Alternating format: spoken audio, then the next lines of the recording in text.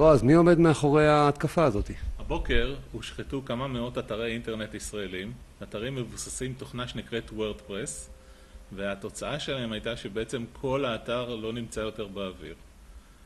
האתרים האלה ככל הנראה, להערכתנו, הושחתו על ידי גורמים מחמאס, חמאס עזה, ואולי עוד מספר האקרים שסייעו להם ייתכן מטורקיה או ממקומות אחרים.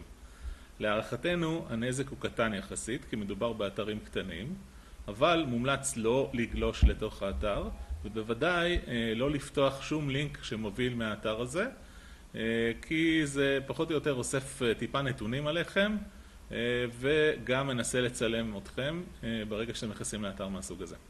מה קורה אם בן אדם מזהה שפרצו לו לאתר? מה הוא צריך לעשות? בדרך כלל האתרים מתארחים אצל ספק אינטרנט, ואולי אצל מישהו שבעצם מארח את האתרים שם, ולכן אני מניח שישחזרו כרגע מגיבוי את מרבית האתרים. מי שאין לו גיבוי, ככל הנראה יצטרך להקים את האתר מחדש. מה לדעתך הנזק שגרם החמאס להתקפה הזאת?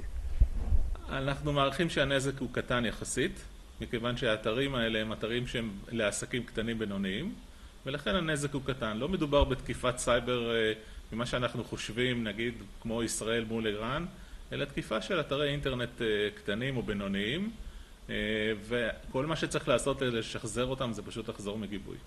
תן לי עצה אחת, מה כדאי לעשות שלא לכל ארגון כזה או אחר לעשות דבר קטן ועצה קטנה שיעזור לנו.